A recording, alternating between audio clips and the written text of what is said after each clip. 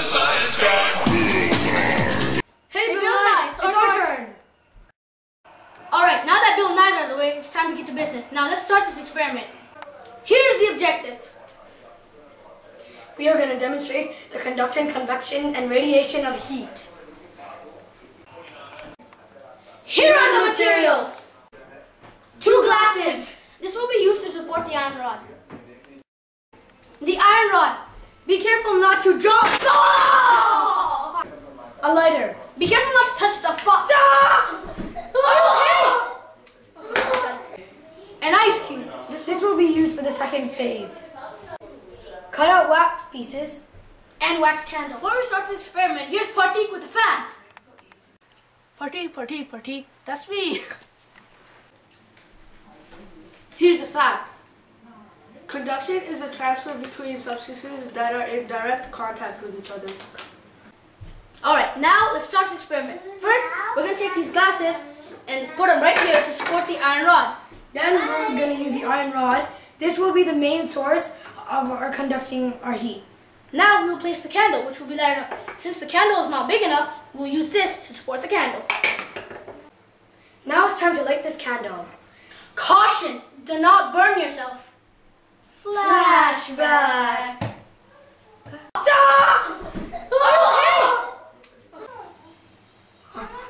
Willie, Willie, it's time to get out of Oh, experiment. sorry. Okay, let's go.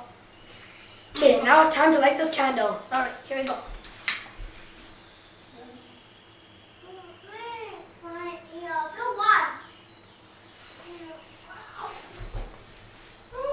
Alright, so as you can see, the, the, the, candle is lighting up the rod. It's making it hot. So let's see what the wax does. Now, to, to hold the wax, we use we're going to use a fork.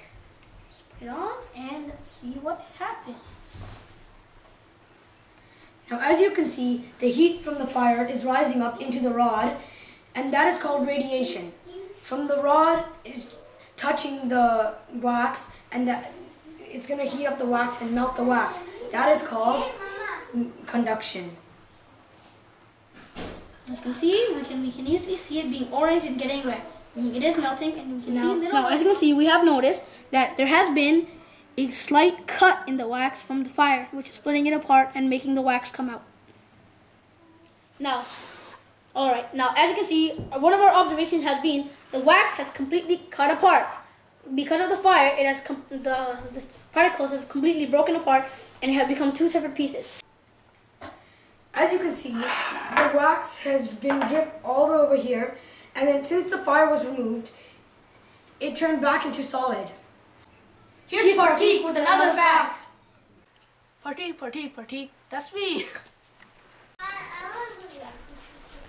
Here's a fact.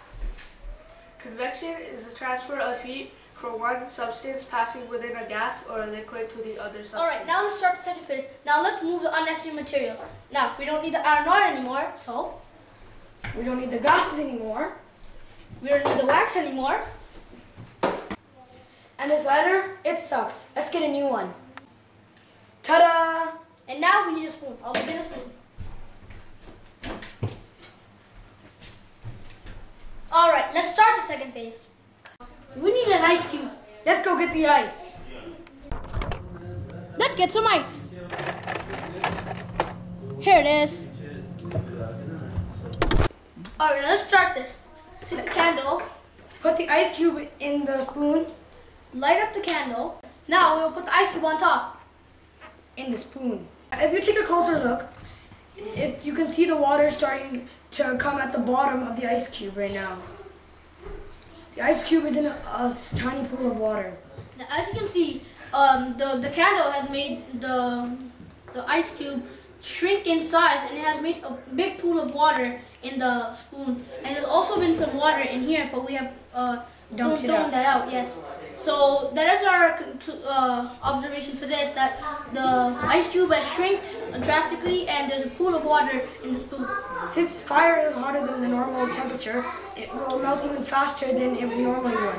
If we were to compare a normal ice cube to this, the normal ice cube would probably still be full, or just a little bit. So, as same as before, the particles are spreading apart and becoming into a liquid form.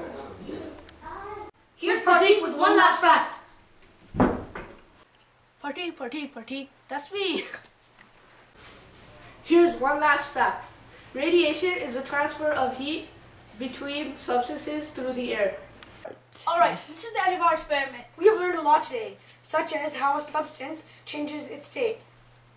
We have also learned the convection, conduction, and radiation of heat. Now we're done. See you later. Wow! Adios!